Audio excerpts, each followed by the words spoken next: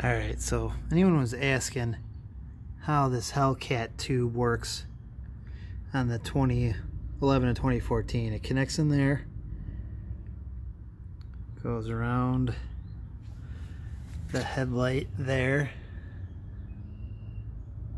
So you can see where it actually connects into the box. And then it comes around right there I just drilled a hole in that uh, plastic shroud. And that's about it